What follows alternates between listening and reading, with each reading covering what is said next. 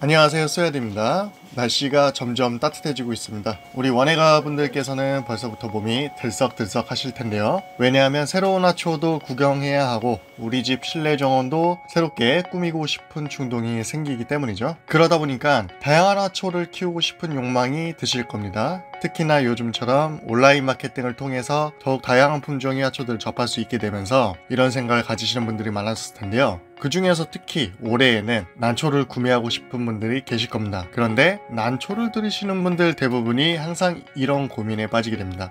아, 이걸 어디에 부착해야 이쁠까? 우리가 옷 하나 고르는데도 몇 시간이 걸리는데 여러분이 예뻐서 분양받은 화초의 옷을 고르는데 당연히 시간이 걸리기 마련입니다. 이런 고민하시는 분들의 시간을 절약하기 위해서 반백 년을 화초에 힘써오신 저희 어머니의 노하우 하나를 알려드리겠습니다. 준비물은 간단합니다. 부작에 사용될 실을 준비해 주시고요. 그리고 가장 중요한 소품이 있어야겠죠. 바로 화분입니다. 어머니처럼 창고 어딘가에 잠자고 있던 예쁜 화분 하나를 준비해 주세요.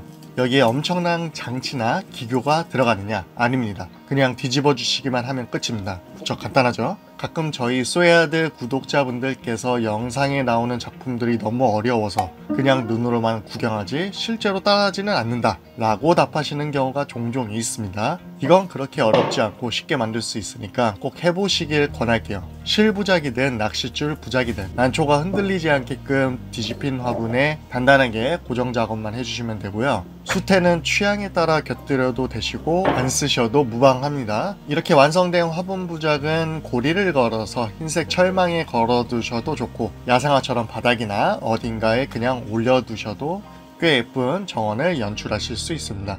거꾸로 화분 부작을 보시다 보면 또 이런 생각이 듭니다. 과연 우리 집에 있는 화분에는 내 난초가 어울릴까? 이 부분은 절대 걱정하실 필요가 없습니다. 사실 여러분이 창고에 두고 쓰지 않으시는 화분 대부분이 어떤 이유가 생겨서 쟁여뒀을 뿐이지 정말 오랜 시간 동안 고심 끝에 어렵게 고른 화분들이 맞습니다. 당연히 예쁠 수밖에 없고요. 여러분 취향에 가장 잘 맞는 화분이라 보시면 됩니다.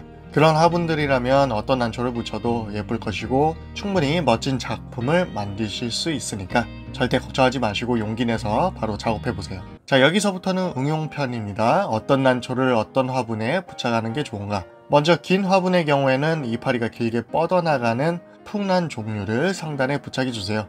여기서 나온 난초의 이름은 금은 라사 풍란이라 하고요. 시원하게 뻗어나가는 이파리가 특징인 난초입니다.